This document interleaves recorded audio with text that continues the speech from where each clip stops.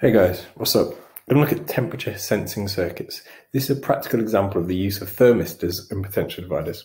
So a quick recap about NTC, negative temperature coefficient thermistors. These are thermal resistors, which means that their resistance depends upon their temperature. So you can see in this graph here, as the temperature increases, the resistance goes down. Really important. So I'm going to emphasize that once more. When the temperature goes up, the resistance goes down. And when the temperature goes down, the resistance goes up.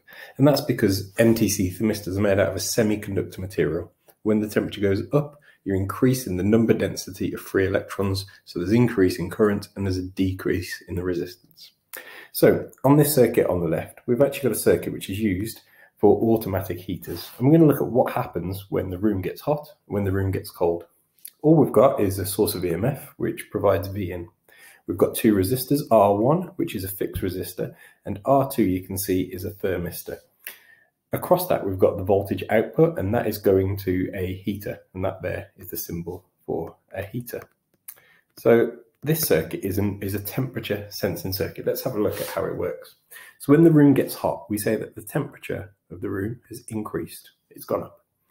What effect does that have upon the, upon the thermistor? So the resistance of the thermistor as we can see from the graph, goes down. And that's because it's a semiconductor material. So if the resistance of R2 goes down, the effect that that has upon V out, we have to look at our equation here.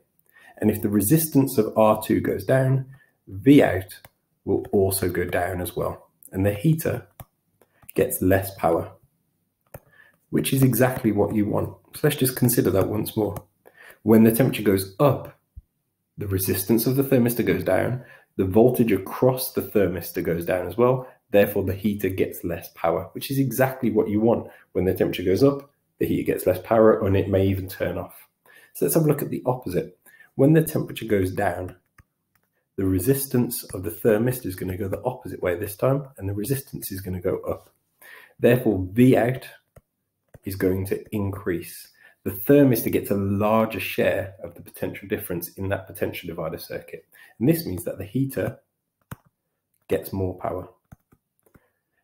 This is an example of negative feedback. When the temperature goes up, the heater gets less power. When the temperature goes down, the heater switches on. That's exactly what you want a heater to do. So this is used in your homes where you have a thermostat. The thermostat turns your boiler or your radiators on and off based upon the temperature. Let's have a look at one more temperature sensing circuit, and this one is used in air conditioning units. The only difference in this circuit to the previous one is that we've got V out across the fixed resistor rather than the NTC thermistor. So let's just have a look what happens now when the room gets hot. So the temperature will increase, the resistance of the thermistor will therefore decrease. Therefore, the voltage across the thermistor will also go down which means that V out, the voltage or the potential difference across R2, will increase.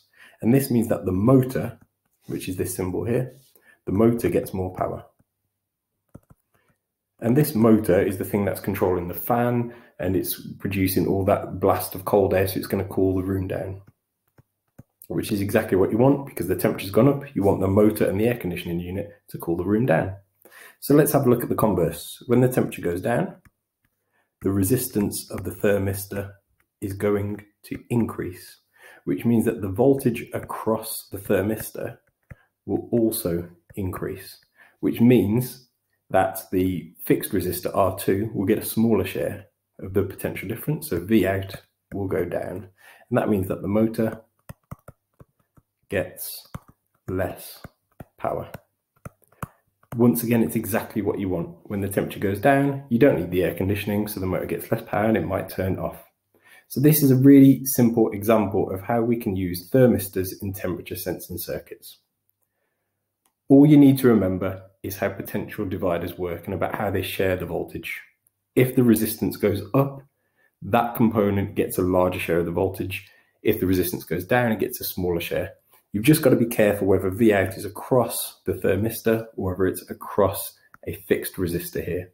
And always remember the graph for temperature and resistance of a thermistor. And that's it. Thanks for listening. See you all soon.